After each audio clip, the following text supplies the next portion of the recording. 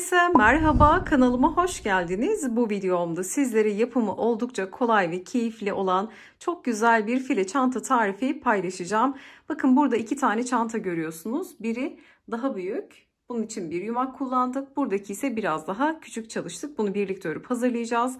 İki çanta da aynı şekilde örüldü. Sadece sayıları ve santimleri farklı. Hemen istiyorum ki şöyle çantamızı inceleyelim. Bakın oval bir taban hazırlayacağız. Bu da oldukça kolay bir çalışma. Şöyle göstermek istiyorum. Bakın fileler hazırlayacağız ve çantamıza güzel bir form vereceğiz.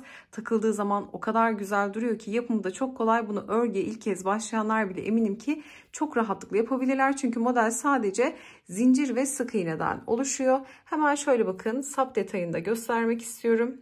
Yine zincir ve sık iğne tekniğiyle sapımızı bitirmiş olacağız. Hemen bu çantayı şöyle göstermek istiyorum. Bakar mısınız? Ekranı sığdırmakta da zorlanıyorum. Çünkü e, küçük çantalar değiller. E, bu biraz daha şehir boyu oldu. Bakın bu yeşil renkli olan. Siyah olansa tam bir e, plaj çantası boyutunda. Hemen şöyle iç kısmını da göstermek istiyorum. Bakın çok muntazam güzel bir parça oldu. Yapımında dediğim gibi çok çok kolay. Bunu böyle Direkt astarsız kullanabilirsiniz ama isterseniz astarda dikebilirsiniz ya da içerisine bir torba koyarak da kullanabilirsiniz. Hemen bakın siyah çantayı da göstermek istiyorum.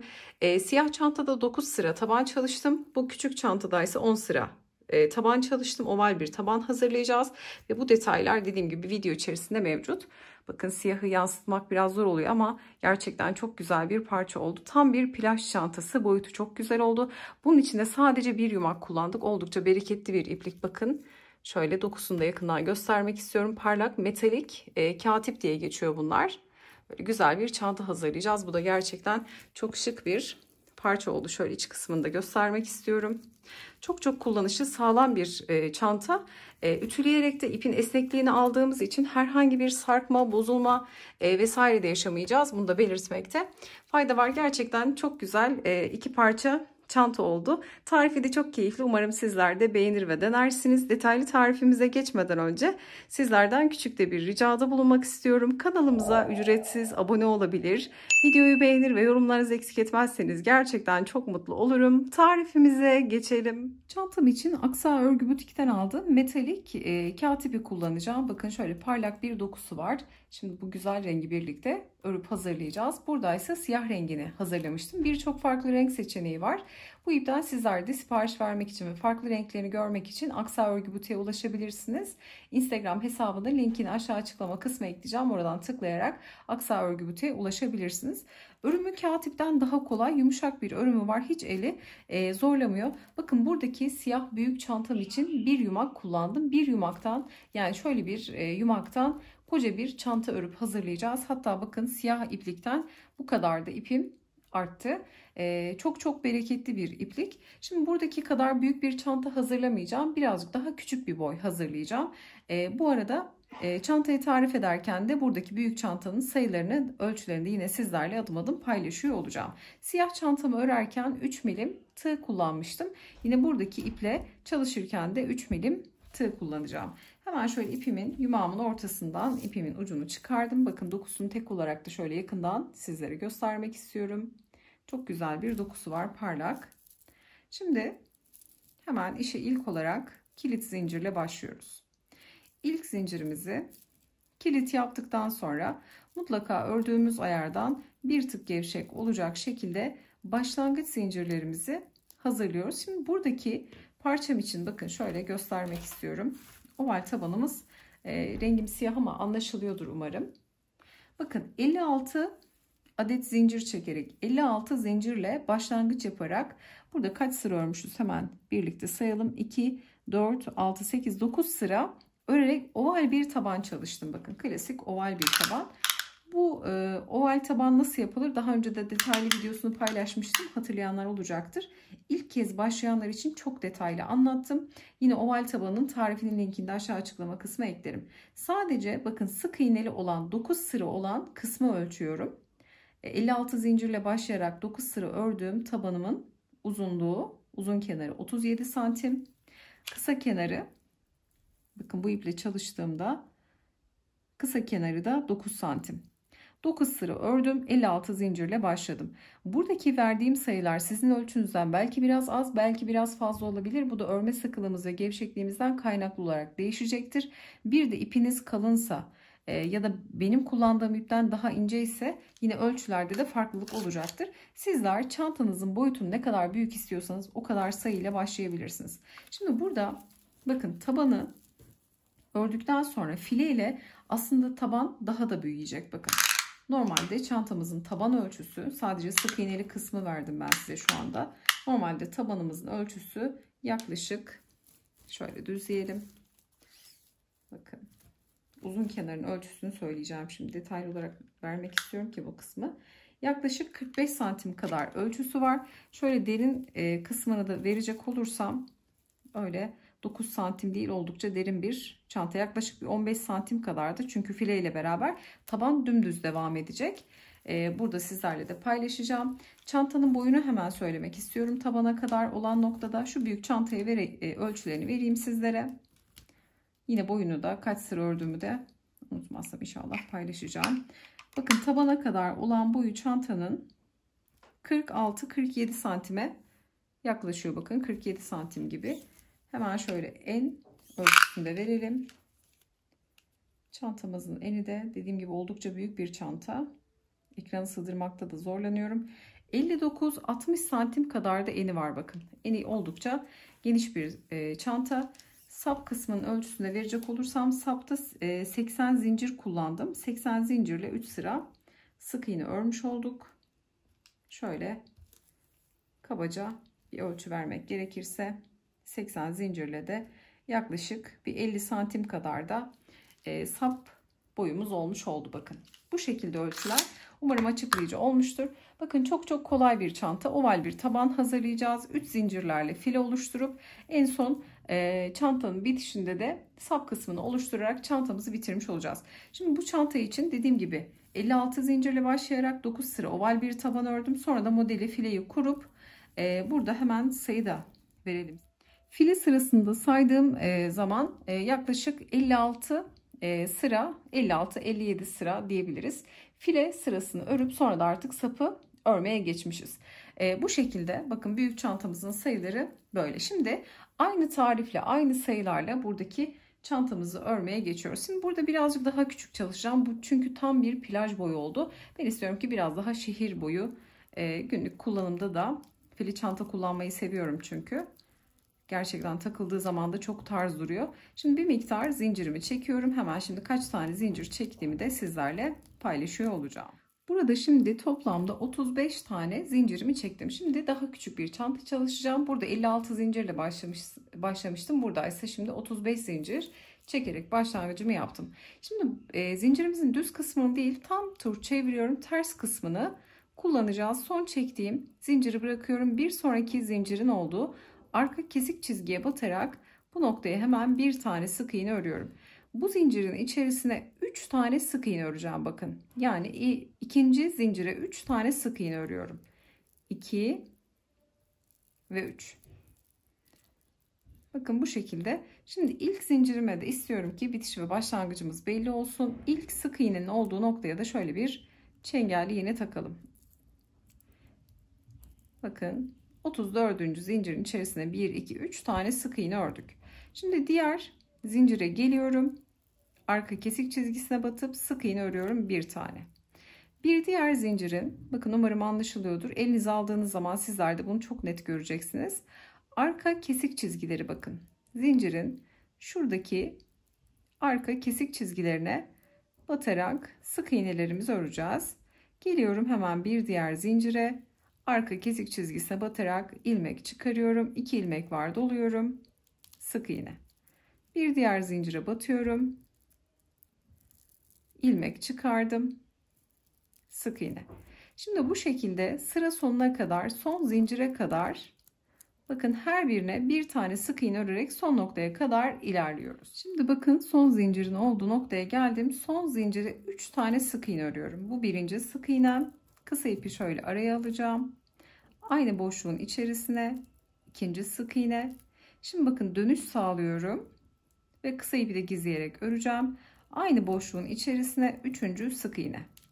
Şimdi böyle örerken çok bir şeye benzemiyor gibi elimizi çok toplanıyor. Çok böyle e, buruşuk duruyor gibi olabilir ama tabanı bitirdikten sonra buharla güzel bir ütü vereceğiz. Taban böyle kalıp gibi bakar mısınız? Kalıp gibi dümdüz durmuş olacak. Hem o yamuklukları almış olacağız. Bu bizi tedirgin etmesin. Bu ip de birazcık böyle parlak olduğu için umarım anlaşılıyordur. Dediğim gibi oval taban nasıl yapılır daha önceden yeni başlayanlar için çok detaylı çektiğim bir video vardı. Videonun açıklama kısmına linkini ekleyeceğim. Oval tabanı eğer burada kafanız karışırsa mutlaka o videoyu seyretmenizi tavsiye ederim. Şimdi 3 sık iğne ile döndük ve geliyorum bir sonraki sık iğnenin hemen dibine batıyorum ve zincirler artık başak şeklinde tığımın üzerinde olacak ve burada da kısa ipi gizleyerek örmeye devam edeceğim. Bakın birkaç sıra sonra ip artık elimizde tam net oturmuş olacak. Şimdi karşı tarafa geçmiş olduk. Her bir zincirin olduğu noktaya batıp sık iğnelerin dibine batıp karşılıklı birer tane sık iğne örmüş oluyoruz. Burada da kısa ipi gizliyoruz bakın. Sık iğnelerimizi örerek devam edeceğiz. Bakın tam uçta 3 tane sık iğne ördük. Diğerlerini birer tane sık iğne örerek ta ki çengel iğnenin olduğu noktaya kadar ilerliyoruz. Bakın sıramızın sonuna geldik. Şimdi burada son sık iğneye de bir tane sık iğne örüyorum. Başlarken 3 tane sık iğne örmüştük. Hemen şu çengelli iğneyi çıkartıyorum. Burada son sık iğneyi ördükten sonra ilk sık iğnenin tepesine batıyorum ilmek çıkarıp çıkardığım ilmeği bekleyen ilmeğimden kaydırıyorum. Burada kaydırma noktası kullanacağım. Spiral şekilde örmeyeceğim. Bir zincirle yukarı çıkıyorum. Şimdi bu ilk sık iğnenin tepesine iki tane sık iğne örüyorum. Bir, aynı boşluğa iki. Şimdi ilk sık iğneme tekrar bir çengelli iğne takıyorum. Aslında kaydırma noktasıyla oldukça belirgin ama yeni başlayanlar için bunu takmakta fayda var. Şimdi Üçlünün ilkine iki tane sık iğne ördük. Üçlü sık iğnenin. Şimdi ikinci sık iğneye iki tane daha örüyoruz. İki tane sık iğne. Bir, aynı boşluğa ikinci sık iğne. Aynı boşlukta ördüğümüz üçüncü sık iğnenin de tepesine iki tane sık iğne. Bir, iki. Bakın oval tabanda artışlar üç noktadan e, ilerler. Bu üç nokta her zaman 2 2 2 devam edecek her sırada. Şimdi diğer noktalar birer tane olacak. Bakın 3 tane ikili sık iğnelerimiz var. Şimdi bir diğer sık iğneye bir tane sık iğne örerek ilerliyorum. Ta ki köşedeki noktaya kadar hemen bu köşeye geldiğimde de üçlü sık iğnem var. 1 2 3 tane sık, sık iğne var ve bunlara da 2 2 2 şekilde sık iğne örerek dönüşümü sağlayarak diğerlerine birer tane batıp sıra sonuna kadar ilerlemiş olacağız. Bakın sıramızın sonuna geldik. Son sık iğneyi de ördük. Şimdi ilk sık iğnedeki çengelli iğneyi çıkartıyorum. Burada bir kaydırmamız var bakın. Hemen ilk sık iğnenin tepesine batıyorum. ilmek çıkarıp kaydırmamı yapıyorum. Kaydırmadan sonra bir zincirle yukarı çıkıyorum. Şimdi gelen ilk sık iğneye yine iki tane sık iğne örüyorum. Bir, aynı boşluğa iki. Şimdi bu ikili sık iğnelerden her defasında 3 tane olacak. 2, 2, 2 şeklinde. Arada da tek sayılar artmış olacak. Şimdi 2 tane sık iğne ördük. Bir diğer sık iğneye bir tane örüyorum. Şimdi bu arada şu ilk sık iğneyi de yine yeni başlayanlar için dediğim gibi bunu buraya koymakta fayda var. İlkine 2 tane ördük. Diğerine bir tane sık iğne ördük. Şimdi bir sonrakine bakın yine çift geliyor. Çift ne demek? Aynı delikte iki tane sık iğne demek. Tek de bir tane sık iğne demek. Şimdi bir sonraki bakın çifti görüyorum. Aynı delikte iki tane var. İlkine iki tane sık iğne örüyorum. Bir, iki. Umarım anlaşılır oluyordur. Yoksa dediğim gibi burada e, sadece oval bir taban örüyoruz. Burada 35 zincirle başladık. Burada ise 56 zincirle başlamış olduk. Şimdi kabaca anlatmakta fayda var ama 2 yani çift ile başladık. Bir tane tek, bir çift, Şimdi bir sonrakini tek örüyorum. Sonra bir diğerine tekrar çift batıyorum. Yani 3 tane çiftim oluyor. 3 tane 2 2 2 nokta olmuş oluyor. Bakın oval taban bu şekilde artmış olacak. Sonra diğerlerini tek örerek devam ediyorum. Bakın. Diğerleri tek ilerleyecek. Burada oval tabanda artışlarımızı yaptık. Diğerlerini tek örerek devam edeceğiz. Buranın yansıması bakın direkt burada da aynı işlemi yapacağız. E, çifti gördüğümüzde yani aynı delikte iki tane sık iğne gördüğümüzde ilkine iki tane diğerine bir tane. 2 yani bir çift, bir tek, bir çift, bir tek, bir çift. Sonra da diğerlerini tek örerek devam edeceğiz. Sıra sonuna kadar gelmiş olacağız. Sonrasında ne yapacağız? Çift noktalar dediğim gibi 3 tane olacak. 2, 2, 2 şekilde ilerleyecek. Bu üçü hep sabit tutacağız. Aralardaki tek noktalar artmış olacak. Bakın bir çift, bir tek, bir çift, bir tek oldu. Bir sonraki sırada bir çift, iki tek olacak. Bir çift, iki tek, bir çift sonra diğerleri tek devam edecek. Burada da aynı işlemi yapmış olacağız. Sonra sıra sonuna gelip e, şuna dikkat ettim burada da. Bakın oval tabanda örerken e, yaptığım işlem çift noktaları üst üste getirmemeye çalıştım. Bir tek, iki tek oldu. Sonra üç tek oldu. Dört tek, beş tek şeklinde dokuz sıra olana kadar oval tabanımı devam ettirmiş oldum. Şimdi bakın burada 9 sıra tabanımızı ördük. Son sırada yani 9. sırada her birine bir tane battık. Artış yapmadık oval tabanda. Yani 8 sıra olana kadar ördük. En son 6 tek bir çift yaptık buradaki kenar artışımızda.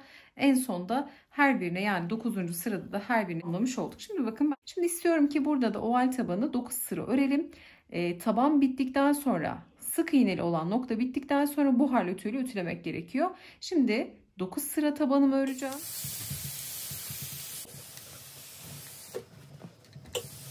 Burada e, bu tabanı daha küçük başladığım için e, burada 9 sırada ördüm. Yani son 7 tek bir çift yaptım. 10. sırayı da her birine bir tane batarak ördüm.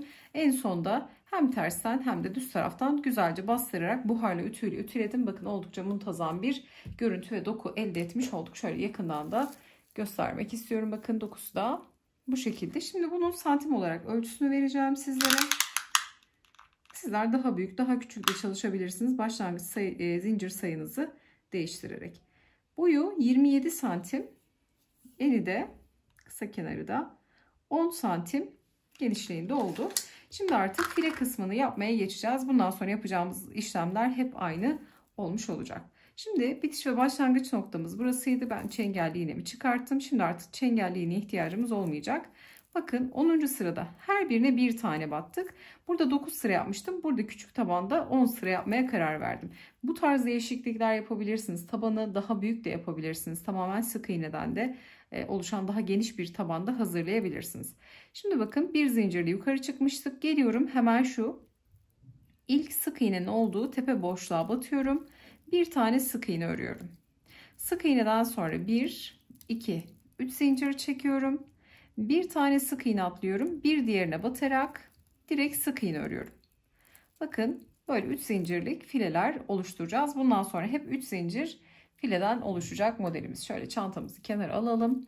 Sık iğneden sonra 1, 2, 3 zincir. Bir tane sık iğne atlıyorum. Bir diğerine batıyorum bakın. Ve hemen sık iğne örüyorum.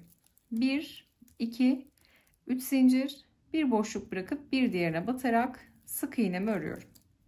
Bakın fileler 3 zincirden oluşuyor.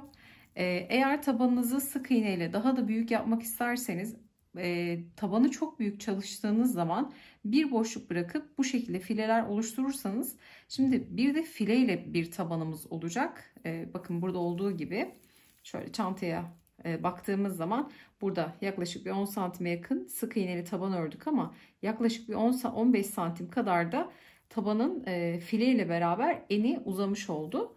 E, boyu da aynı şekilde. File ile bakın burada bir e, taban daha örmeye devam ediyoruz aslında. Ama siz bunu direkt ben taban öreceğim direkt file çıksın istiyorsanız eğer iki tane boşluk bırakıp üçüncüye batabilirsiniz. Bu şekilde filelerinizi oluşturabilirsiniz. Yine 3 zincirle oluşturmanızı tavsiye edeceğim. Bakın 3 zincirle gayet ideal bir boşlukta file elde etmiş oluyoruz. 3 zincir ideal. E, iki tane boşluk bırakıp üçüncüye batarak da e, tabanı fileli değil de direkt duvar kısmını file olacak şekilde çıkabilirsiniz. Bu püf noktaları da vermekte fayda var. Şimdi bakın 3 zincir bir boşluk bırakıp ikincisine batıp sık iğne örerek filelerimizi devam ettireceğiz. Tamamı bu şekilde olacak ta ki sıra sonuna kadar. Şimdi bakın file sıramızın sonuna yaklaştık. Burada bir boşluk bırakıp bir diğerine sık iğne örüyorum. Sonda da bir tane sık iğnemiz kalıyor bakın. Şimdi burada başlarken bir tane sık iğne ile başlamıştık. Şimdi bitişlerimiz farklı olacak artık. Burada bir tane zincir çekiyorum.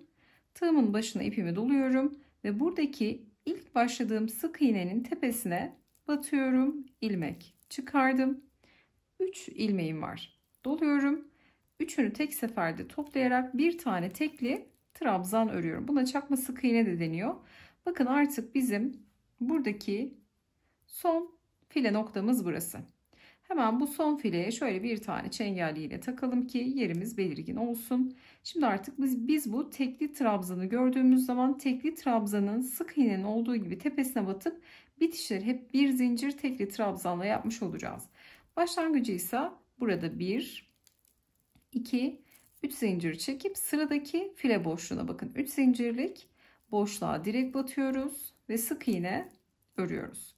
1, 2, 3 zincir ve sıradaki file boşluğuna 3 zincirlik boşluğa direkt batıp sık iğne. Model zincir ve sık iğneden oluşan çok çok kolay bir örnek. 2 3 zincir ve file noktasına gelerek bir tane sık iğne örüyorum.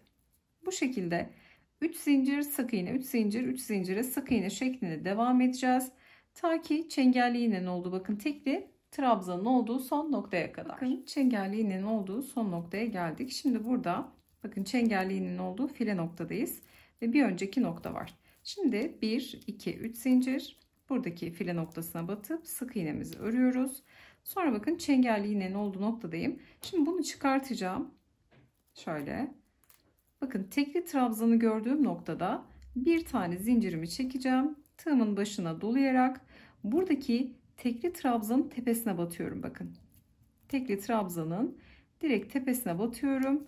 ilmek çıkardım. 3 ilmek var doluyorum. Üçünü tek seferde topluyorum. Şimdi bunu her seferinde yukarı taşımamak için ilk ördüğüm bakın sık iğneden sonra ilk ördüğüm tekli trabzanın gövdesine bunu şöyle yerleştirelim bu çengelli iğneyi. Burası bizim bitiş ve başlangıç noktamız. Bundan sonra bakın tekli trabzanla bitişlerimizi yapacağız. Bu iki sırada göstermiş olduğum gibi bitişleri yapmış olacağız. Tekli trabzandan sonra 1 2 3 zincir çekip hemen geliyorum. Bakın ilk 3 zincirlik boşluğa sık iğnemi örüyorum. Bu tekli trabzan hep bu şekilde devam edecek. Sonra 1 2 3 zincir aynı işleme devam ediyorum. Bakın tek yaptığım şey 3 zincirlik file boşlukları batıp sık iğne örüp 3 zincir çekmek. Bu şekilde devam edeceğiz. Sonra bakın şu noktaya batıp en son bir zincir tekli trabzanı gördüğümde bir zincir çekip tekli trabzanın tepesine batıp tekli trabzan örerek buradaki bitişi hep aynı şekilde tekrar edeceğiz. Ve şimdi bakın ne olacak? Burada bitiş düz bir şekilde ilerlemiyor. File modeli biz nasıl sayıyoruz? Hep çapraz sayıyoruz bakın bu şekilde. Buradaki bitiş ve başlangıç noktası da devam ederek burada çantanın şöyle şu kısmına ya da kenar kısmına kadar ilerlemiş olacak. Yapacağımız derinliğe göre bu değişecektir. Şimdi yapacağımız tek işlem file örmek bakın. Tarif etmiş olduğum gibi bitiş ve başlangıcı yaparak çantamızı çukurlaşana kadar ne kadar istiyorsanız derinliğini. Bakın ben burada e, sizlere santim ve sayıda vermiştim. Burada çok e, güzel bir derinlik oluştu. E, bir yumağı bitirene kadar neredeyse ördüm. En son sapı için birazcık ip bıraktıktan sonra e, sap tarafını yapıp bir yumaklı çantamı bitirmiş oldum. Sizler de bir yumağa göre çantanızın boyutunu da ayarlayabilirsiniz. Dediğim gibi kendi ölçünüzün nasıl istiyorsanız o şekilde ayarlama yapabilirsiniz.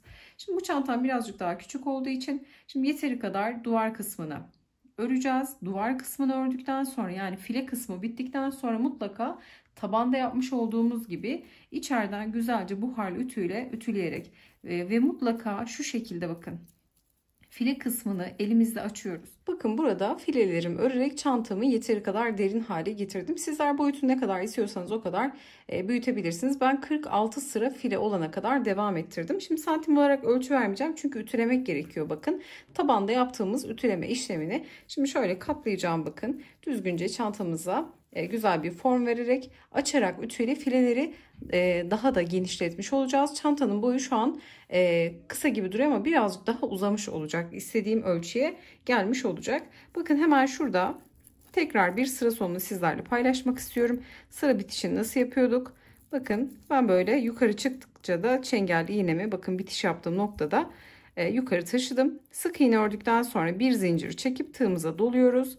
Bakın buradaki tekli trabzan. Bunun tepesine batarak ilmek çıkarıp 3 ilmeği tek seferde toplayarak devam ediyoruz. Sonrasında 3 zincirle devam ediyorduk. Şimdi bitirdik. Bundan sonra artık sap kısmını yapmaya geçeceğiz. Ama sap kısmını yapmadan önce istediğim ölçüye gelmiş mi gelmemiş mi ütüleyerek bunu görmek istiyorum. Şimdi ütüleyelim. Bir sonraki aşamaya birlikte devam edelim. Çantamızı bakın sizlere tarif etmiş olduğum gibi ütüledim buharla ve güzelce file noktalarımızı açmış olduk. Şimdi sık iğne noktasından itibaren file e, ölçümüz 38 santim oldu. Çantamın boyu 38 santim. Sizler ne kadar istiyorsanız boyunuz o kadar uzatabilirsiniz. Bu ölçü benim için yeterli. Ama sizler daha uzun, daha kısa da yapabilirsiniz. Şimdi bakın çantamızın sap kısmını ayarlamaya geçeceğiz. Bakın bitiş ve başlangıç noktamız burada belirgin. Şimdi karşılıklı fileleri tutuyorum. Bir önden bir arkadan bakın. Bunu da tabana göre bakın tabandan çantamın kenar noktasını güzelce belirgin hale getiriyorum ve file noktaları karşılıklı sayıyorum. 1 2 3 4 5 bakın karşılıklı 6 7 8 9 şöyle tahmini 9. fileye hem öndeki noktaya çengelliğini takıyorum hem de arkadaki noktaya. Sonra bakın bu tarafta devam edeceğim. 9 burada bırakmış olalım. Sonra diğer fileden karşılıklı saymaya devam ediyorum. 1, 2, 3, 4, 5, 6, 7, 8, 9, 10. Şöyle 11 tane bırakalım. Şimdi bunu bakın karşılıklı takıyorum 11.ye. Şimdi bu taraftan sayacağım. 1, 2, 3, 4, 5, 6, 7, 8, 9 tane kalmış oluyor. Aynı baştaki gibi yani 11.ye de buradan burada da 11 tane file bırakmış olacağım. Hemen bunu bakın şöyle tutalım. Hem öndekine takacağım. Hem de arkadakine. Bu sayıları bu şekilde ayarlamış olacağız. Yani 3'e böleceğiz e, bu kısmı sap yerleştireceğimiz noktayı sap açıklığı olacak şu noktayı ben biraz daha bakın e, 11 tane bıraktım burada 9 tane file bırakmış oldum arkalı ve önlü olacak şekilde bakın sap yerleştireceğimiz noktaları belirgin hale getirmiş olduk. Şimdi bu taraftan başlayacağız. Şöyle yapalım. Bu bitiş ve başlangıç noktamızdı. Şuraya şöyle çengelli iğnemizi takalım ve bitiş ve başlangıç noktamızı görelim. Şimdi artık bakın burada tekli trabzanlı bitişimizi yaptık. Tekli trabzandan sonra şöyle bir tane zincir çekiyorum. Bir sonraki fileye gelip iki tane sık iğne örüyorum. Bir 2. 2 tane sık iğne. Diğer bir fileye tekrar 2 tane. Şimdi her bir fileye 2 tane sık iğne örerek yani 3 zincirlik boşluklara 2 tane sık iğne örerek hiçbir bakın arada zincir vesaire yok.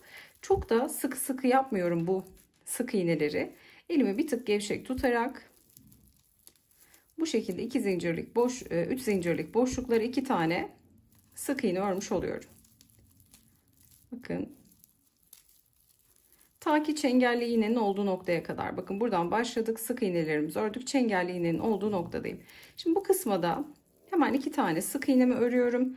Şimdi iki çengelli iğne arasında zincir çekeceğim ve sap kısmını oluşturmaya geçeceğim. Siyah çantada 80 zincir çekmiştim. Yaklaşık 50 santim uzunluğunda bir sap elde etmiştik.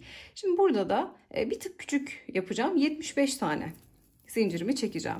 Şimdi başlıyorum. 1, 2, 3, 4, 5. Şimdi bu şekilde 75 tane zincirimi tamamlıyorum. Bakın 75 tane zincirimi çektim. Zinciri kıvırmadan hemen bir diğer çengelli iğnenin olduğu noktaya geliyorum. Ve hemen bu noktaya iki tane sık iğne ile zincirimi tutturuyorum. Bakın birinci sık iğne aynı boşluğa ikinci sık iğne.